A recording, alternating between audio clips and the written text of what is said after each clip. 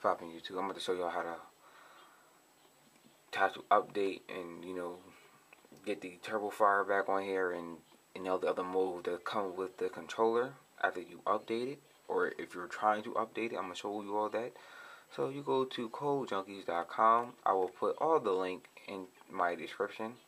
So this way y'all can get to the website real quick and easy without dealing with the hassle. Uh, I, will be doing that for you all so you can just click on that or copy and paste that into the to the search bar. And it's right here real big what it says download customizer whatever it's called. Let's minimize this. You once you do all that after you download that you'll get a little icon looks like the controller that says TurboFire 2 controller. We'll open that up which I already did right here. Um I have the new update for the controller so there's no there's no new update for the controller as right now I guess because if you did not update it you will be updating now. Accordingly because you know you're on the website. I wouldn't do it. So you know you here you have remade pretty much saying nothing and there's no controller to you you know then you can do to it. You have the analog stick sensitivity where you know how fast you turn around and everything else you know, of course you got left stick, right stick, and all the fucking triggers you can sensitize and all that. If you see, notice I have, I don't know if you can notice from the uh, brightness of the camera or, or you know, my, my computer monitor, um, I have my triggers at a full 200%, and is at 100%, left triggers at 100%, left sticks at 100%, right sticks at 100%. Let's go to uh, feature and button layout. Like I said, I'm sorry for the glossiness of it. Um, I should have kind of like toned down the camera just a little bit. I'm not going to redo this video because I'm I don't mess with the controller like that. So let's keep it real quick. Um, for the for the feature button for the number one button, I automatically have the turbo fire function on the controller, which I do like. And actually, I had the low fire two. I mean, I'm low fire. I mean the low recoil as my second button feature. But I'm gonna keep. I'm gonna put that as a sniper mode and assign that to it and then you know, of course, you know all the features that it has on here. You have, of course, the turbo sniper mode, which is like a somewhat like a knockoff aimbot. It's a little bit. It does help you aim. It's a little bit better if you actually aim. Just a little bit. Low recoil to me, that does nothing at all. Sound player, um, it it tells you what it does, but I don't like reading all this shit. Of course, you know you you can remap the. Uh, it says, it says COD remap for Halo Reach. If you have Halo Reach and you want the um the Call of Duty controls for Halo Reach, you can do that. Or you want the Halo Reach controls for Call of Duty, you can do that. It's on there. Or you can just remap the buttons all together. Now, remapping the buttons all together, that means you're going to make the A button your right trigger if you want to do that. The B button your left stick. Who knows why you want to do that. You can do all these things to the remapping the buttons. I wouldn't do that. I wouldn't fuck up the controller like that unless that's that, that's your personal opinion.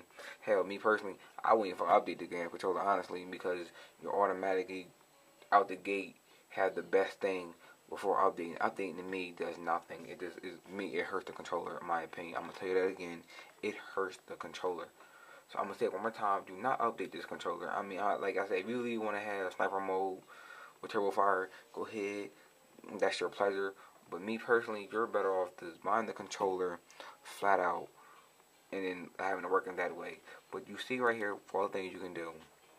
Like I said, once you click on it, pretty, all you do pretty much, like I said, click on, like I said, low recoil. I click on low recoil, hit assign to the controller. This way, it's always on the controller, and all you gotta do is disconnect it. Now, again, I'm gonna put it back on sniper mode because that's what I wanted on.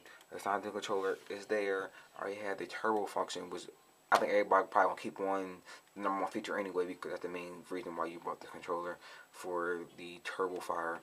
So that will automatically stay on number one for me. And um, that's about it for how you set this up. All right, you must make sure that you when you click on it, hit the assign, you know, get, get assign settings for it, so it it, it would activate it on the controller. All right, you know nothing else. After that, everything is done. Alright, so if you got turbo on number one, and then you know number two, you have like me sniper mode. Again, remember hit this sign. I gotta say more than once because some people will somehow fuck this up and then be all confused. It's not that hard. Once that done, you simply unplug the controller. It's to pop up, of course, it's saying, you know, the Turbo 2 controller is no longer inactive with the website or with the program. That's fine. That's good. Alright, all you gotta do now is, of course, put the battery pack back on here. You are fucking good to go. Everything is ready for you to hop on Xbox Live, go on, go ahead and play your Call of Duty, Modern Warfare, or Black Ops, Halo Reach, and about it for shooting games. Because you know I already did the video that thing Grand Theft Auto did not work with this controller, and everything will be there for you to fucking work. Like I mean, like it's there. You can after you done with that, you can straight go on, you know, over there, and everything will work perfectly. You have any questions? Feel free to comment. Normally, I don't even say that, but feel free to comment. And if you have any problems, I will try to get with you. Definitely, sometimes you know I get overwhelmed with all these comments about this controller. I just forget about them, and I forget to get back at you. But other than that, I will try to do my best to get back at you. So this is King D with a quick trial or rundown on how to set up with the with the code junkie performance for for the customizer.